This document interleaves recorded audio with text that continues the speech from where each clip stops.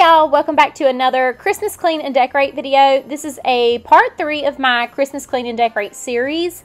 Today I am decking out our kitchen and our dining room for Christmas. I actually filmed this a few days before and did not like how any of it turned out. If you follow me on Instagram, you already know. So I went on Pinterest, got some new inspo pics, went shopping for a few more decor pieces, and now I'm loving how our kitchen turned out.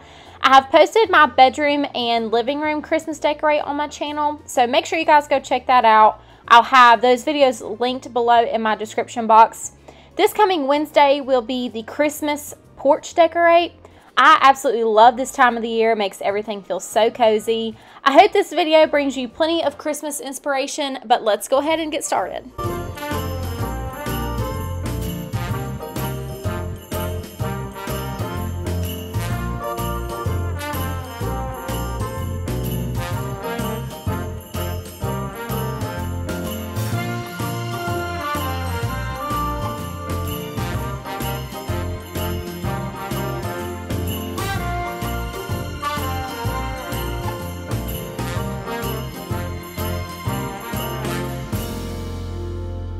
First thing in the kitchen, I'm going to start by adding some garland to the top of our cabinets. This is the same garland from Walmart that I used in our bedroom and our living room. They do not come with any lights, but I actually ordered some lights from Amazon that were coming in this day, and I'll share how that turned out at the end of the video. But I needed some lights with a remote so that I didn't have to climb on the counters just to turn the lights on. I'm going to add all the garland to the tops of the cabinets, clean off the counters, and then share an awesome cleaning product if you have a glass stove before we get started on decorating.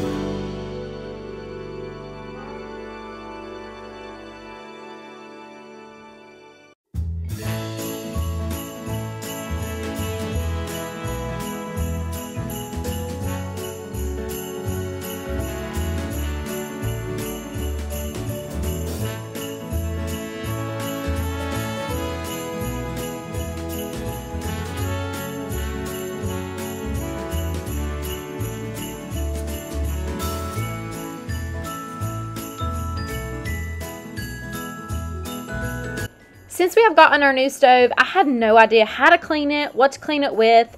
We were at our friend's house for dinner one night and I noticed that they had a glass stove, so I kind of just asked them what they use. And there's a kit that she got from Walmart. I'm sure you could order it from the brand directly or Amazon, but it is Weiman Cooktop Cleaning Kit, if I'm saying that right. It includes a small tube of cleaner, a scrub brush, and a scraper that's 100% safe on your glass top stove. I was so nervous about scratching our glass stove because our stove is brand new, but she tried it on hers, let me try it out, and I absolutely loved it. It gets your stove clean so well.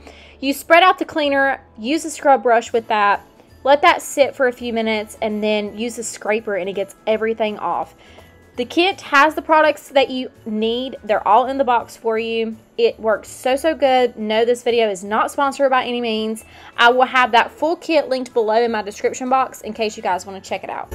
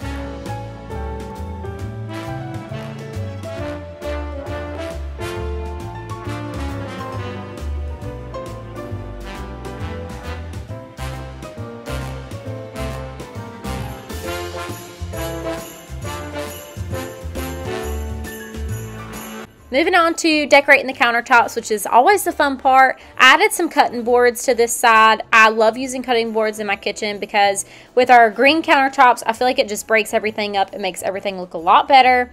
I added this frame from Walmart, a nutcracker next to it that I spray painted it. And I had a lot of garland left over from the tops of the cabinets, so I just added a little bit of the garland to the top of this frame, and I felt like that just gave it a little bit more of a cozy Christmas touch. I got this soap stand from Amazon. It is black and it is supposed to absorb water, so I hope it lasts long.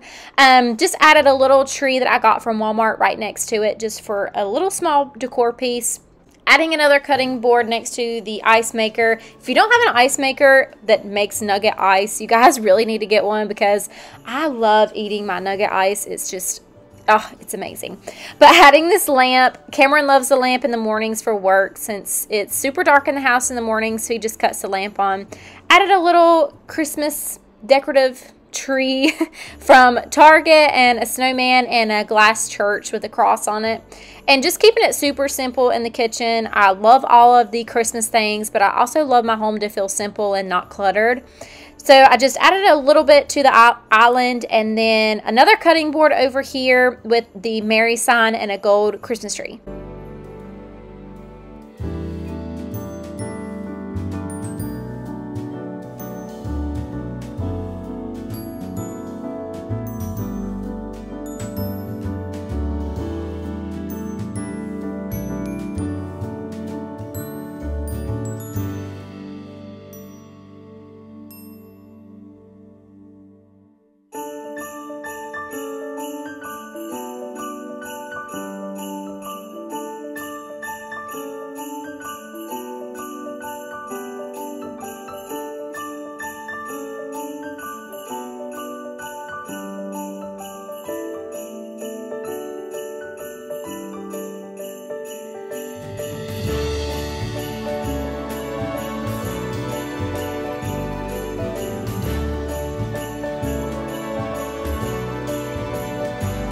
If you've been around and followed my channel for a while, you know that I've had this black vase sitting empty on my dining room table forever, it seems like. So I got these stems off of Amazon and I love how they look. They are a bit more on the light green side and not the dark Christmas green, which I did not realize that when I bought them, of course. But I still think they looked pretty good sitting on the table. So that looks a lot better with something in the vase. Moving on to this black entryway table that I purchased off of Amazon when, we moved into this house. I love it. Everything that I get off Amazon, I'm an Amazon gal. Added a red Christmas blanket just to give a pop of color to this basket. I believe I got that blanket from Marshall's or TJ Maxx last year. I found this sign at Hobby Lobby and I thought it was so pretty and gorgeous and was just a cute Christmas picture frame going to add a reindeer that I got from Marshall's and a little decorative bowl with some brown and gold pine cones.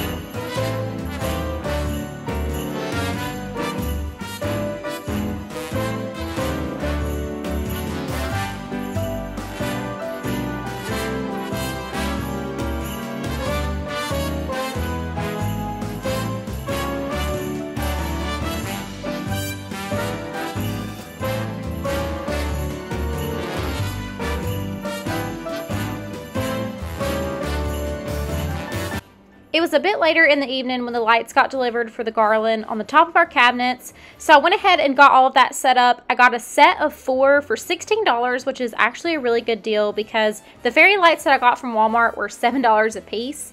These are the warm white lights with a remote. You can use these lights indoor and outdoor. They are waterproof and snowproof with eight modes of twinkle lights.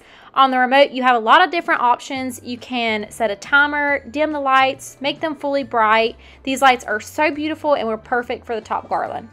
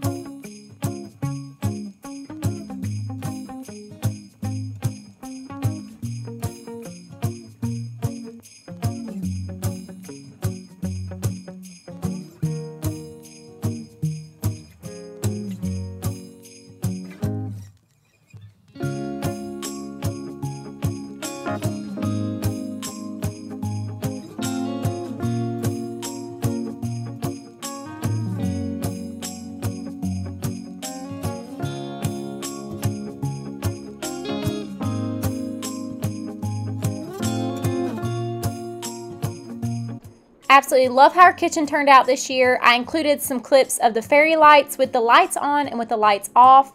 I did not have enough fairy lights to add to the garland that's on our windows, so I may add some in the future, but that is it for today's video. Thank you guys so much for stopping by. If you enjoyed today's video, make sure to give it a thumbs up. If you're not already subscribed, I would love to have you. I'll see you guys on Wednesday. Bye.